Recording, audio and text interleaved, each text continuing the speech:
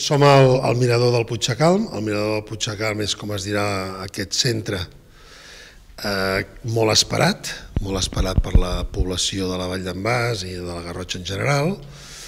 Eh, es dirà el Mirador del Puigcalm perquè, com veieu, eh, estem mirant tota l'estona el Puigcalm i a més a més eh, també és una, una mostra d'intencions de que l'empresa eh, que portarà la gestió d'aquest equipament eh, és la mateixa família que porta el mirador de l'Estany, eh, que està a Banyoles, i per tant també és una, una mostra d'una línia. No? Com que ha estat una, no, una obra tan esperada durant tants d'anys, eh, vam fer una primera part que vam fer Cantrona d'explicació a la nostra població de eh, com funcionarà aquest centre i allà vam poder explicar a tothom quina serà la línia, que en tot cas en, en Marc us ho, ho recordarà, eh, i en el que també hi era present el Consorci d'Acció Social, perquè per nosaltres és molt important que hi sigui. Eh?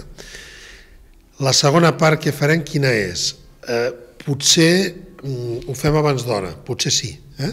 però ens semblava just que la gent pogués venir i pogués fer una visita d'obres, perquè és una visita d'obres, en el que veurà ja alguna part força acabada, però almenys es podrà fer una idea de quines són les diferents parts i, i quina funcionalitat tindrà l'equipament.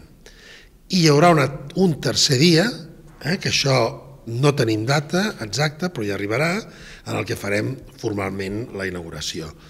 Eh, això serà abans de l'estiu. Eh? Això serà l'estiu, eh, no em feu dir si maig, juny, juliol, però serà a l'estiu quan farem formalment la inauguració. L'equipament té dues parts molt diferenciades. Una part que és residència, en el que hi ha les habitacions, i en que aquestes habitacions eh, eh, les obrirem per 40 places. Eh? L'equipament pot tenir fins a 80, però de moment obrim amb 40 places. I obrim amb 40 places, diguéssim, la part, eh, diríem, més encarada cap, a, cap als hostalets, que perquè és quan sigui el moment de poder fer obres i ampliar, no dificulti el funcionament normal de, de quan sigui el moment. Aquella carretera que és la carretera que va d'en de, de, als hostalets, per aquí s'entrarà l'equipament, per aquí s'entrarà el mirador del Puigsecal, i aleshores hi ha el, la recepció, i per tant, cap a la dreta, cap a la residència, cap a l'esquerra és on hi haurà centre de dia, menjadors, eh, fisioterapeutes, eh, perruqueria, bugaderia, cuina, gimnàs... Tenim experiència en el, en el camp de, de la geriatria i, i del servei i el nostre mètode de treball sempre ha estat molt familiar i, i encarat a la gent i, i mirant de donar una mica, el, el, una mica de contacte amb la, amb la persona. I és una mica el que volíem transmetre quan ens vam, quan ens vam eh, engrescar, perquè va ser, va ser així, com vam eh, entrar aquí al, el que ara és el mirador del, del Puig Sacal. La nostra manera de treball volem que sigui també bastant similar al que portem allà i òbviament sabem que és una, una zona diferenciada, però volem que també s'adapti molt a, a, a, a, bàsicament el que ens demani la gent.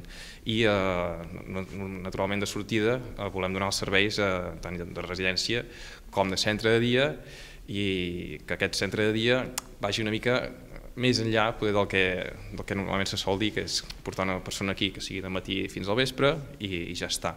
El, el centre neix amb molta voluntat eh, de no ser un bolet enmig de la vall, mm -hmm. sinó ser un equipament integrat a la, al teixit associatiu i a la població del municipi. En quin sentit? Posarem un exemple que jo crec que podem avançar. Eh?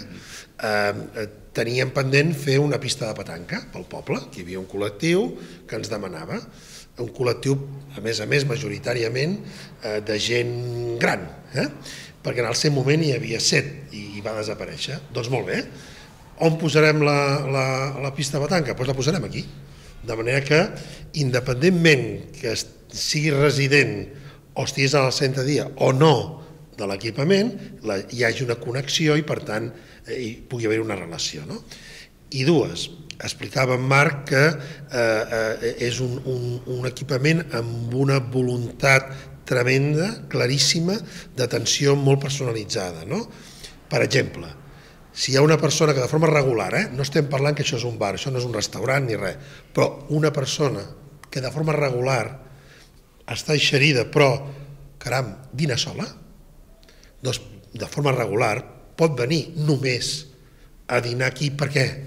Pel fet de dinar? No, i per fet de que podrà socialitzar, podrà estar en companyia, segons qui li podrà controlar una miqueta la medicina, etc. És a dir, la voluntat en aquests exemples és el que volem especificar, no? que serà un, equipament en aquest sentit. Per això hi deia, no? depèn de com vagi evolucionant, pot ser que hi hagi més o menys personal.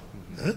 Però la filosofia del centre és aquesta, no? molt encarada, a un servei molt personalitzat, eh, i aleshores sortim amb aquestes places, hi haurà eh, des del departament se'ns assegura el 100% les places vinculades, eh? el 100% de places vinculades vol dir d'ajudes, eh? quan gent que té graus de dependència, i estem treballant també per aconseguir el concert de places. Eh, això anirà una mica més llarg perquè també la situació del país és la que és i les coses estan una mica xiturades, però ja estem treballant amb la conselleria.